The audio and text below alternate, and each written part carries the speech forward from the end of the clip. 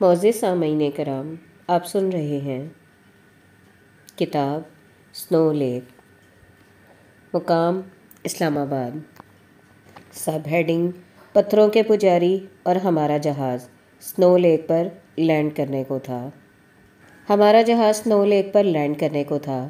جہاز کے sound system پر مجھے ایک ہی صدا سنائی دے رہی تھی۔ سنو لیک سنو لیک سنو لیک۔ کرومبر لیک کے بعد مجھے سنو لیک کا بلاوا آ گیا تھا۔ بلاوے ہر ایک کو نہیں آتے، صرف ان کو آتے ہیں جو ایک عمر پتھروں کی پوجا کرتے ہیں۔ ان کی عبادت میں وہ یقین ہوتا ہے جو بتوں کو زندہ کر دیتا ہے۔ صرف انہیں ایسے بلاوے آتے ہیں۔ تھنگل کے گلابی کھیت، جو شام میں کیٹو ٹریک کے پہلے پڑاؤ پر گل رنگ شانگ ہوتے تھے، ان کے کناروں پر جو غیر ملکی کوہ نورد خیمہ زن تھے اور عامر ان کی قربت میں تھا اور میں ادھر سے جان بوجھ کر گزرا تو اس نے مجھے پکارا تھا۔ تارٹ صاحب، یہ لوگ سنو لیک سے آئے ہیں۔ نہیں نہیں۔ ان میں سے ایک ایش گرے بالوں والی خاتون نے فوراً کہا تھا، ہم سنو لیک تک نہیں پہنچ سکے۔ موسم بہت خراب تھا۔ مسلسل بارش برف باری اور دھند۔ ہم اپنا راستہ بھی تلاش نہیں کر سکتے تھے۔ اور جب ہمارا ایک پورٹر دڑاڑ میں گرتا گرتا بچا تو ہم لوگ واپس آ گئے۔ لیکن اٹ واز ونڈرفل ایک بھورے گھنگریالے بالوں والا نوجوان جو امریکہ میں فصلوں پر سپرے کرنے والا ایک چھوٹا جہاز پائلٹ کرتا تھا۔ کافی کا ایک خون بھر کر بولا، ہم وہاں تک نہیں پہنچ سکے، لیکن میں تمہیں بتاتا ہوں کہ وہاں زبردست پہاڑ ہیں اور صحراؤں سے بڑے گلیشیئر ہیں۔ اور مجھے ابھی تک یقین نہیں آ رہا کہ میں انہیں دیکھ کر آیا ہوں۔ وہ تجربہ کار غیر ملکی سنو لیک تک نہیں پہنچ سکے تھے، لیکن میرا جہاز وہاں لینڈ کرنے کو تھا اور ساؤنڈ سسٹم پر صرف ایک ہی صدا تھی، سنو لیک سنو لیک۔ میں نے اسکولے اور تھنگل کے راستے اسکردو لوٹتے ان غیر ملکی آوارہ گردوں سے یہ بھی پوچھا تھا کہ ان گرمیوں میں دنیا بھر کے پہاڑ اور جھیلیں چھوڑ کر آپ نے یہ کیوں سوچا؟ کہ آپ سنو لیک پر جائیں گے۔ موٹیفے کا کہنا تھا، جو بعد میں خالد ندیم کی محبوب ہوئی کہ اس کا نام ہی ایسا تھا کہ میں نے سوچا، چلو اس بار ایک ایسی جھیل پر چلتے ہیں، جسے برف کی جھیل کہتے ہیں، کہ دنیا بھر میں کوئی اور جھیل ایسی نہیں ہے جسے سنو لیک کا نام دیا گیا ہو۔ ہم پہنچ تو نہیں سکے ایشکری خاتون بولی، لیکن ہمیں معلوم ہو گیا تھا کہ ہم سنو لیک کے آس پاس سانس لے رہے ہیں۔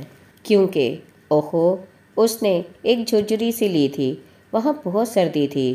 سنو لیک کے آس پاس سردی تو ہوگی۔ پائلٹ ہنسنے لگا، دیکھو یہ عجیب بات ہے۔ موٹیفیر جسے دیکھ کر یہ گمان نہیں ہو سکتا تھا کہ وہ کوہ نوردی کے قابل ہے۔ آپ اس دنیا میں بے شمار، بلکہ لاکھوں لوگوں کو مل سکتے ہیں، جنہوں نے احرام مصر اور تاج محل دیکھ رکھے ہیں۔ لیکن میں آج تک کسی ایسے شخص سے نہیں مل سکی جس نے سنو لیک کو دیکھا ہو۔ اسلام آباد سے اڑان کرنے والے جیٹ کے اندر پکنک کا سا سما تھا۔ وہاں کو نورد اور ملازمت پیشہ لوگ بھی تھے اور نگری، بلتی، ہنزائی چہرے بھی تھے، جن پر اپنی سنگلاخ بھی اور سر سبز بھی۔ وادیوں کے گھروں میں منتظر جلدی آگ کی روشنی لہریں بناتی تھی۔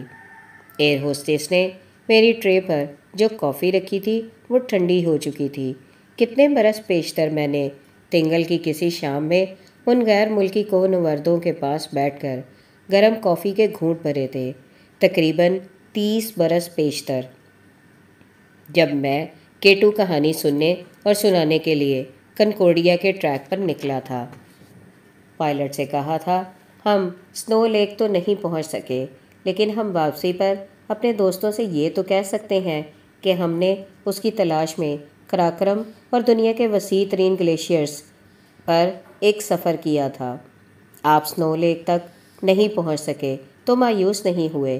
نہیں ایشکرے بالوں والی خاتون نے اپنے بال جھٹک کر کہا تھا، بالکل نہیں، اگر ہم وہاں پہنچ جاتے تو عین ممکن تھا۔ اس پر فانی خواب کو حقیقت میں دیکھ کر تھوڑے سے مایوس ہوتے۔ اپنا اور دوسروں کا دل رکھنے کی خاطر اس کی تعریف کرتے۔ اور یہی ہوتا ہے، جن چیزوں کے نام خوبصورت ہوتے ہیں، ان کی خوبصورتی ان میں نہیں، ان کا نام لینے والے کے بدن اور ان کی خواہش میں ہوتی ہے۔ تو ہم سنو لیک نہیں دیکھ سکے، اس لیے وہ اب بھی ہمارے اندر ویسے ہی موجود ہے جیسے ہم اسے چاہتے تھے کہ ایسی ہو، وہ اب بھی ہمارے خیال اور خواہش میں محفوظ ہے۔ ایش کرے نے درست کہا تھا۔ بہت سے شہر، منظر اور چہرے ایسے ہوتے ہیں کہ انہیں دیکھ لینے سے انسان کو افسوس ہوتا ہے کہ وہ اس کی خواہش اور خیال میں کہیں زیادہ پرکشش تھے۔ پورٹرز کا الاؤ تب بجھ چکا تھا جب ایش گرے نے یہ کہا تھا اور تھنگل کے گلابی کھیت اندھیرے میں اپنے رنگ کھو چکے تھے۔ ہاں ان سے پرے دریائے برالڈو کے پار جو چٹانیں اٹھتی تھیں ان کی برف اپنی دھندلی سفیدی کے ساتھ ایک ٹھنڈک نیچے تھنگل کی کیمپنگ سائٹ تک لاتی تھی، جہاں میں فے، ایشکرے اور پائلٹ کے ساتھ ایک ٹھنڈی ہو چکی کافی کے کپ کے سامنے اندھیرے میں گھورتا تھا۔ جہاز کے ساکت پروں کے نیچے کوہستانی وادیاں متحرک تھیں اور ان پر بادل گھنے ہو رہے تھے اور کبھی ابلتے ہوئے اپنی سفیدی سے پروں کو چھو لیتے تھے۔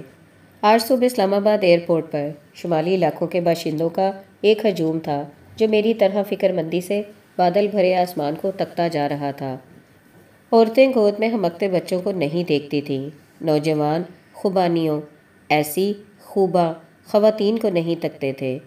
میں نے بھی ڈپارچر لاؤنج میں ایک مدت سے انگلیوں میں جکڑی، چائے کی پیالی میں سے ایک گھونٹ بھی نہیں بھرا تھا۔ نیچے پیالی کو نہیں دیکھتا تھا۔ دوسروں کی طرح میں بھی آسمان کو دیکھتا تھا کہ کیا ہم آج خوش نصیب ٹھہریں گے اور یہ فلائٹ جائے گی؟ کینسل تو نہیں ہو جائے گی۔ چینیوں کے عقیدے کے مطابق آسمان ہی سب کچھ ہے۔ چونکہ چین کے میدان اتنے وسیع ہیں کہ وہاں آسمان دنیا میں سب سے بڑا آسمان ہے اور وہ ہمہ وقت اپنے کھیتوں کے لیے، سیلاب کے ڈر سے اور نجات کی خواہش میں آسمان کو دیکھتے ہیں۔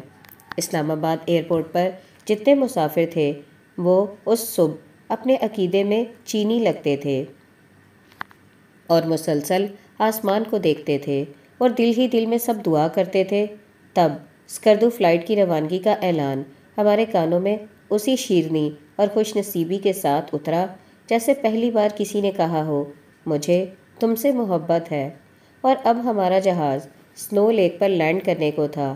ہاں تقریباً تین برس پہلے جب میں کیٹو ٹریک پر گیا تھا، تو بیافو گلیشیئر کی بوتھی کے عین نیچے کوروفون میں رات کرنے کے بعد اگلی سویر ہم اس کی ندیوں سے جدا ہو کر کنکوڈیا کے لیے کوچ کر رہے تھے، تو عامر ہم سے الگ ہو کر بیافو گلیشیئر کی برفوں کے اختتام کو دیکھے جا رہا تھا اور میں نے اسے آواز دے کر بلایا تھا۔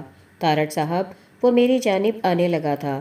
کوئی دن ایسا ہوگا کہ ہم یہاں گوروفون میں رات گزاریں گے اور اگلی سویر کنکوڈیا کی بجائے مخالف سمت میں بیافو گلیشیئر پر چلیں گے سنو لیک جانے کے لیے۔ ہاں کوئی ایسا دن ہوگا تو یہ وعدہ رہا۔ اس نے ہاتھ آگے کر دیا۔ بالکل، میں نے اس کا ہاتھ تھام کر کہا تھا۔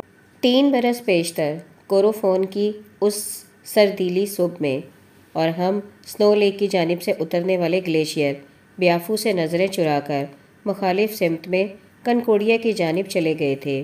میں نے وعدہ یوں ہی کر لیا تھا، جیسے واضح جنت کا وعدہ کر لیتا ہے۔ لیکن آج ایک ایسا ہی دن تھا۔ ہم سنو لیک جا رہے تھے۔ ہم پولر ریجن کے سوا دنیا کے سب سے طویل برفانی راستے کو عبور کرنے کے لیے گھر سے نکلے تھے۔